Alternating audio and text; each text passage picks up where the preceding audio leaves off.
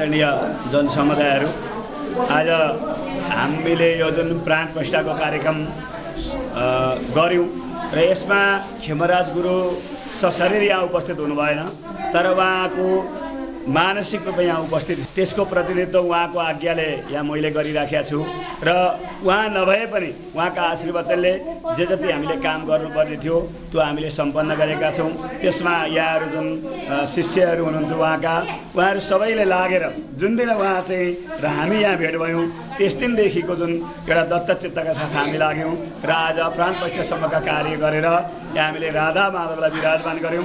उहाँको सदस्य आशीर्वाद छ र भगवान्को कृपा यी दुईवटा कुरा जोडेर हामी ब्राह्मण वर्गले पनि महाचार्य लगायत हाम्रा ऋत्युहरूले उपाचार्यज्यूहरूले ब्रह्माजीहरूले जुन काम गर्नुभयो त्यसले गर्दाखेरि हामीलाई एउटा अत्यन्त उहाँको आशीर्वाद यति चाहिँ फल्यो फुलेको रहेछ कि? हामीलाई कुनै बिचमा कोही बिरामी भइएर यस बिचमा। कसैलाई यो न उपस्थित नहो भन्ने लागेर खेमराज गुरुकै हाम्रा राष्ट्रगुरु खेमराज गुरुकै आशीर्वादले यो काम सम्पन्न भयो। यसमा हामीले गोपाल सहस्त्रनाम त्यो पनि पाठ गऱ्यौँ। अनि अष्टाद अष्टादशाक्षरी मन्त्रको पनि हामीले दीक्षित गुरुद्वारा नि पाठ गरायौँ। त्यस गरी वेद हामीले पाठ गऱ्यौँ। अनि त्यसपछि हामीले मण्डप पूजामा दियो कलश गणेशको पूजा अनि ग्रह- ग्रहको पूजा जुन विधिवी रूपमा स्थापे स्थापना गरेर पूजा गऱ्यौँ। सर्वतोभद्रमा हामीले चाहिँ राखेर भगवान्लाई विराजमान गराएर राधा माधवको हामीले प्रत्येक रूपमा पहिले पूजा गऱ्यौँ यहाँ मण्डपमा। त्यसपछि अनि वास्तु योगिनी क्षेत्रपाल आदिको पूजा गऱ्यौँ र त्यसै गरी प्रतिदिन जुन हवनका कृत्यहरू थियो हामीले हवनका कृत्यहरू गऱ्यौँ।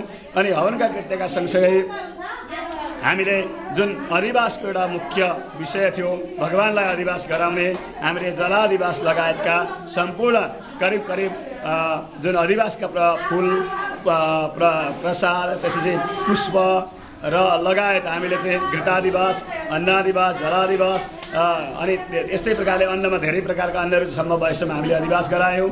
त्यसै गरी हामीले अनि सय्यादिवास गरायौँ अनि सय्यादिवासपछि फेरि भगवान्लाई हामीले जुन चार घन्टा करिब लगाएर हामीले न्यासका कार्यक्रम गऱ्यौँ। भगवान्का चाहिँ शरीरमा सम्पूर्ण वेदहरू धर्मशास्त्रहरू विभिन्न प्रकारका देवी देवताहरूको त्यहाँ हामीले ग्रहहरूको चाहिँ भगवान्मा आधान गऱ्यौँ यसको अर्थ के हो भनेदेखि भगवान्मा सर्वशक्तिमान षडैश्वर्य राधा माधव हुनुहुन्छ भन्ने कुराको त्यसको आभास हो। त्यो न्यासको विधिद्वारा सम्पूर्ण देवताहरू चराचर प्राणीहरू ओमकार आदि मन्त्रहरू समस्त गरेर हामीले फेरि अन्तिममा मन्त्रादिवाससम्मका कृत्यहरू गऱ्यौँ र मन्त्रादिवासका कृत्य गरेर अनि हामीले आज अर्थात् दुई हजार सत्तरी साल वैशाख उन्तिस गते बिहानको हामीले सात बजेको शुभ साहित्यमा हामीले मेष वृक्ष लग्नमा अर्थात् स्थिर लग्नमा अनि त्यसपछि गएर रोहिणी नक्षत्रमा त्यसपछि वृष र जुन वृष राशिका चन्द्रमा अर्थात् वृष राशिको चन्द्रमाको उच्च चन्द्रमा हुन्छ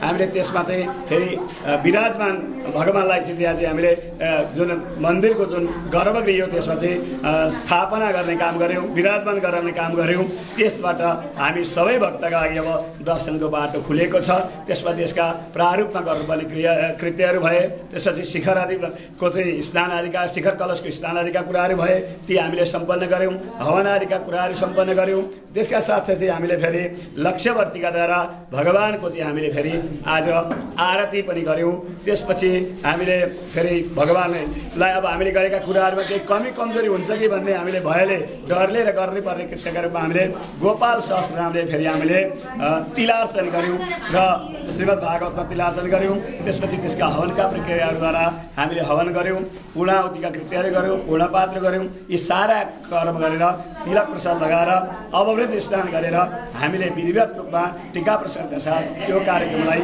यसरी हामीले करिब साढे चार बजे यतातिर चाहिँ ती कृत्यहरू सकेर अनि प्रसाद सबैले लिएर फेरि खुसियालीका साथ भजन कीर्तनका साथ हामीले चाहिँ यो यसरी कार्यक्रममा सम्पन्न गऱ्यौँ र लग्न प्राण बस्नका लागि धेरै हुन्छन्।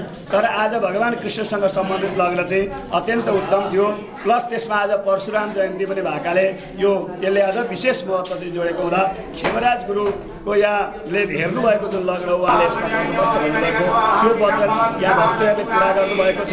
त्यसरी हाम्रा मेरा चाहिँ सहयोगी मित्रहरू उपाचार्य आदि गरेका ऋतिक पण्डितजीहरूले गर्नुभएको छ।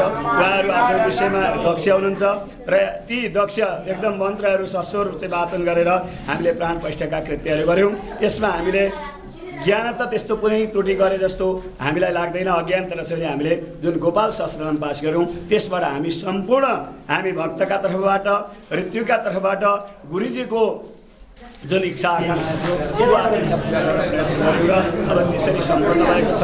र अब यहाँहरूलाई नित्य निरन्तर रूपमा चाहिँ एकदम हाम्रा सामान्य कृत्यदेखि लिएर विशेष कृत्य विवाह आदिका सम्पूर्ण कृत्यहरू गर्नका लागि यो राधा मन्दिर माधव मन्दिरको परिसर भयो। त्यसपछि कथा प्रवचन भयो। अब चौमासा यहाँले पुराण आदि लगाएर यसलाई झन् वृद्धि गर्दै हुन्छ। साउनमा कृष्ण लन्छ त्यो कृत्य गर्न सक्नुहुनेछ।